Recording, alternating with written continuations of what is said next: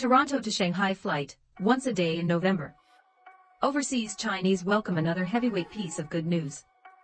The Chinese embassy in the United States has confirmed the compensation plan for the 10-year multiple round-trip visa.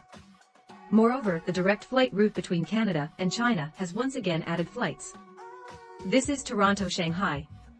According to the official website of the Chinese embassy in the United States, starting from March 15, 2023, the Chinese government has made further adjustments to the visa and entry policies for foreigners to China.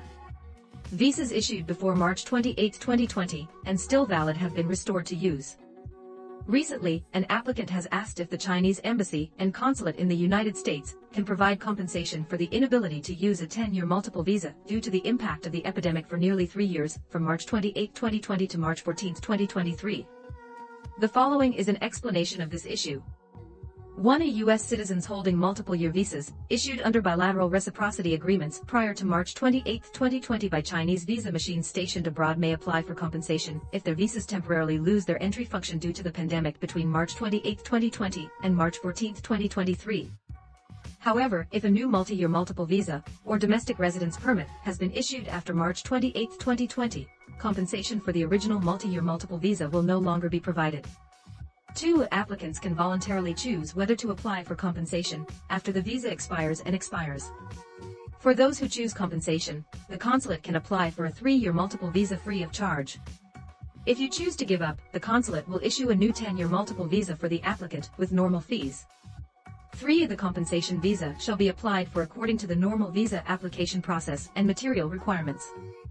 Four, in order to do a good job in related work, the Chinese embassy and consulate in the United States will no longer accept similar visa applications with a 10-year multiple visa validity period of more than half a year from now on. The parties involved may voluntarily choose whether to apply for compensation after the visa expires and expires. Toronto-Shanghai resumes one flight per day in November. Just today, the editor of our website found that the flights from Toronto to Shanghai are about to resume, one flight per day, in November when searching for flights from Canada to China. Before October, there was no Toronto-Shanghai direct flight every Thursday and Friday, but since November, there has been one flight every day. The ticket price is also much cheaper compared to the results of Google Flight Query, about 32,000 renminbi. On Saturday, it is cheaper, at 17,000 renminbi. The flight number of this route is MU208, and the aircraft type is Boeing 773. Departure from Pearson International Airport in Toronto at 1625 local time, lasting about 15 hours, and landing at Pudong International Airport at 1920 local time. During the same period, the price of direct flight between Shanghai and Toronto was relatively low, about 30,000 renminbi and 13,000 renminbi respectively.